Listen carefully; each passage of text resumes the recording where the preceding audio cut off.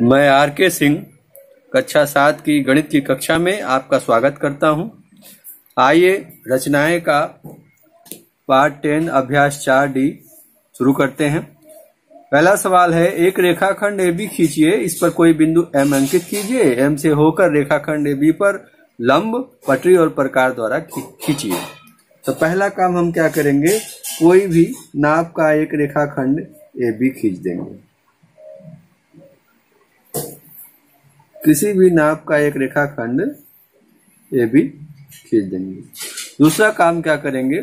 उस पर एक बिंदु अंकित कर देंगे एम एक बिंदु एम अंकित कर देंगे। यहाँ लिख देंगे एम इधर लिख देंगे रेखाखंड ए बी का नाम। ठीक? इसके बाद क्या करेंगे? बिंदु एम पर प्रकार की नोक रखेंगे, यानी एम को केंद्र मानकर किसी त्रिज्या से एक चाप इस तरह से खींच देंगे। ठीक? ये चाप ए बी को बिंदु एल पर और पी पर काटता है, वो लिख देंगे यल और पी इसके बाद क्या करेंगे? बिंदु यल और पी को केंद्र मानकर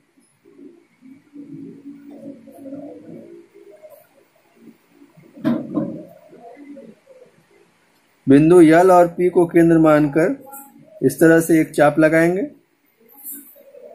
पी से लगा लेंगे और फिर यल से लगा लेंगे। ठीक? अब ये चाप जहाँ काटा, उसको हम लिख देंगे एन ठीक? इसके बाद क्या करेंगे? ये यम को यम को यन से मिलाते हुए ऐसे लाइन खींच देंगे। ठीक? यही रेखा यमयन क्या हुआ? दी हुई रेखा ए, रेखाखंड ए बी पर लंब होगा। इसके बाद हम दूसरे सवाल पर आते हैं। दूसरा सवाल कह रहा है कि एक रेखाखंड पी क्यू खींचिए कोई बिंदु आर लीजिए जो रेखा पी क्यू पर न हो। आर से होकर रेखा पी क्यू पर एक लंब खींचिए। तो सबसे पहला काम क्या किया मैंने? कि एक रेखा पी क्यू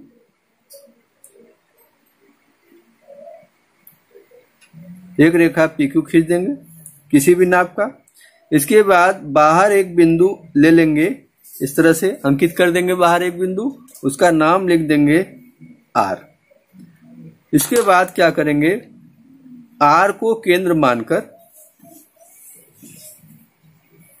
आर को केंद्र मानकर, कोई एक त्रिज्या लेकर, इस तरह से चाप काटेंगे जो पी क्यू को दो बिंदुओं पर काटता है। ठीक? ये दो बिंदु होंगे, एक बिंदु इधर यल लिख देंगे और दूसरा बिंदु इधर यम लिख देंगे। इसके बाद क्या करेंगे? बिंदु यल और यम से यल पर प्रकार की नोक रखेंगे। और इस तरह से बिंदु यल पर प्रकार की नोक रख के इस तरह से चाप लगा देंगे। फिर बिंदु यम पर प्रकार की नोक रखेंगे।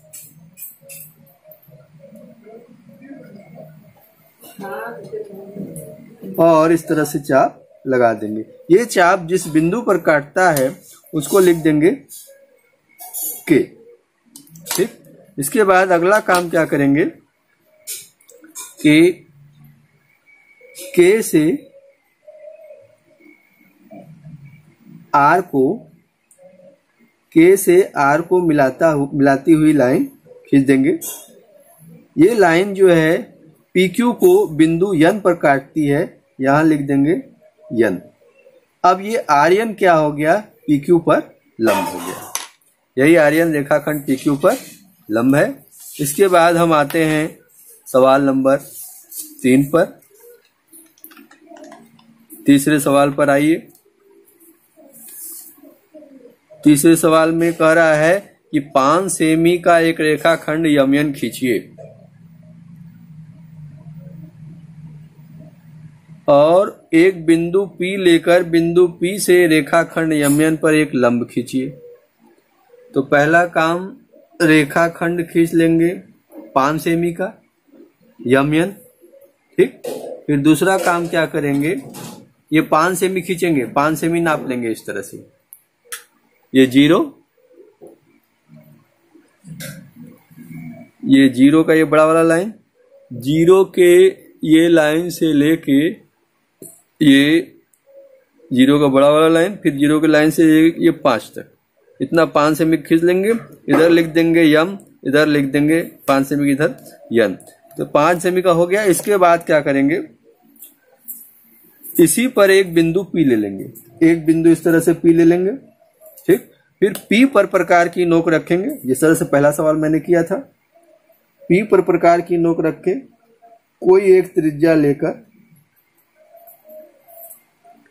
एक त्रिज्या लेकर, इस तरह से चाप खींच देंगे। जो रेखाखंड यमयन को बिंदु ए पर तथा बिंदु यम पर काटता है। इधर लिख देंगे ए इधर लिख देंगे बी अब ए और बी को केंद्र मानकर ए और बी को केंद्र मानकर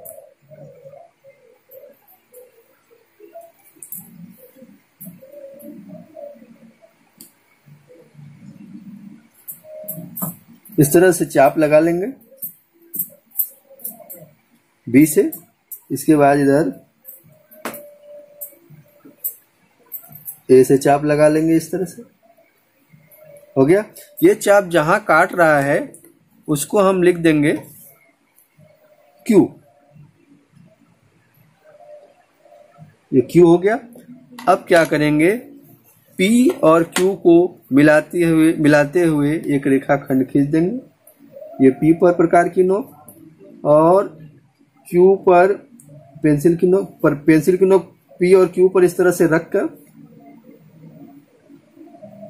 और फिर हम लाइन ये खींच देंगे। ठीक? अब ये जो पी क्यू है, ये रेखाखंड यमयन पर क्या है? लंब है। यानी यमयन पर रेखाखंड यमयन पर एक बिंदु पी को केंद्र मानकर किसी त्रिज्या से एक चाप खींचा, जो रेखा को ए और बी पर काटता है। ए और बी को केंद्र मानकर एक ही त्रिज्या के चाप लगाए, जो एक दूसरे को बिंदु क्यू पर काटते हैं। ठीक? अब ये पी क्यू खींच लिया। यही रेखा पी क्यू जो है रेखाखंड यमयन पर लंब है। इसी के साथ हम आपको अगले लेक्चर में मिलेंगे। आप हँसते रहें, मुस्कराते रहें। जय हिंद, जय भारत।